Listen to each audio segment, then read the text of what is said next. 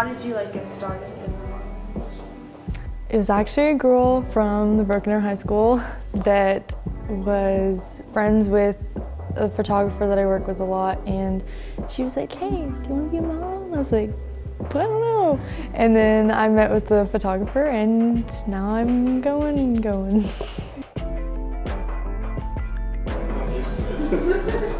I dance too, so those are kind of hard to match my schedule with and work out. It makes it complicated.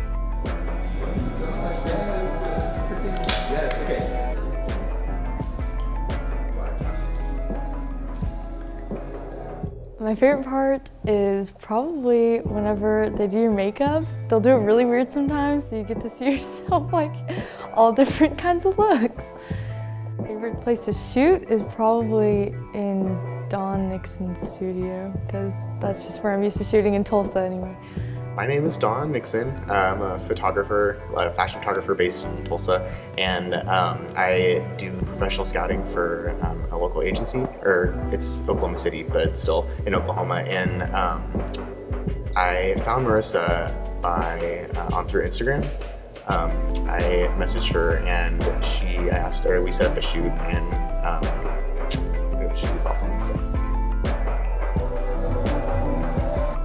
My family and friends are really supportive. They're, my parents have always been super good about helping me get places and my friends are just like, they're always uplifting and like telling me like, you're gonna do awesome and helping me out with things and. I didn't ever think I would be a model. I thought, I, yeah, I never really considered it, but now that I'm like into it, I kind of want to keep going with it. my name's Becky Marshall, and I am Marissa Long's mom. You were eight pounds, 10 ounces. Mm-mm. I was nine pounds. I was nine I'm pounds. sorry, nine ounces. pounds. That's right. Yeah. Right here. I was big. that one. That's that's Marissa. We teased that she was she looked like an Indian papoose. I had black like, hair. I know, she's black hair. She got smaller. Like in a week, you lost like a whole pound or something. So when we first thought Marissa might get to do modeling, it was um, it wasn't a surprise. One day she got a call out of the blue about uh, meeting up with this photographer, and I'm like, uh huh, sure, yeah, this is a photographer that's gonna, yeah, make you a star, you know. But um, it ended up that he was just legit and really cool, and so we went to the studio, and I went with her it was a you know it was a really neat experience and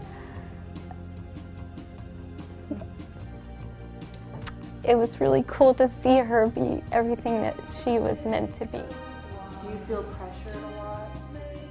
I personally don't, but I hear stories about like people that have just come across kind of rude models that will like, I mean there's that everywhere, but so I think that kind of affects some things, but. Um, it's becoming more difficult because like at first she was just going to Oklahoma City for, you know, a couple things and then we've driven to Dallas and had to drive four and a half hours there, four and a half hours, four and a half hours back and her do a shoot all in one day. It's gotten a little harder, but I really been, you know, trying to be with her every time because I really want to, you know, make sure that she's in a good atmosphere and make sure she's, um, you know, just it's a good thing, a good, a good experience for her.